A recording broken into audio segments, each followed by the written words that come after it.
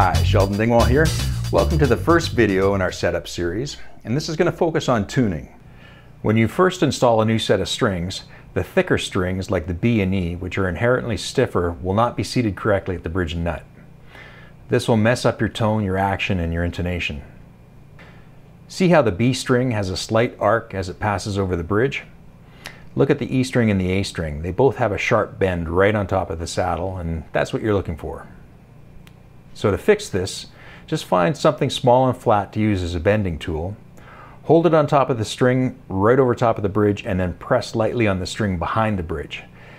Repeat the same thing at the nut and then also on your E and A strings if they need it as well.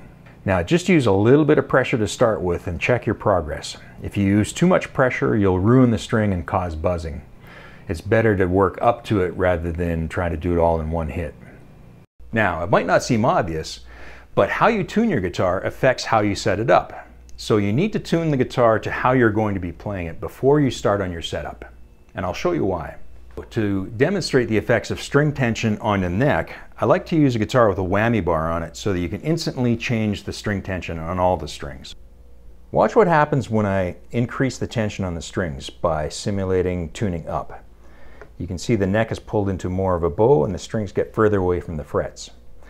Likewise, if I simulate down tuning by lowering the tension on the strings, the neck straightens out and the strings get closer to the frets. Here's another thing that isn't quite so obvious, and that is gravity will affect the tuning of your bass.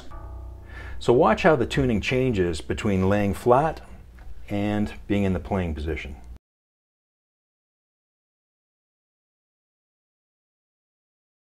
It's subtle, but it makes a difference.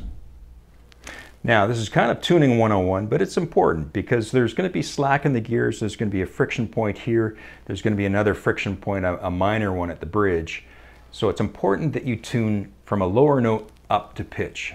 If you overshoot it, just go back down to a lower note and tune it back up to pitch until you get it right. Doing this will pull all the slack out of the strings and gears and result in more stable tuning. Now that we're all tuned up, let's head to the next video where we'll talk about the truss rod.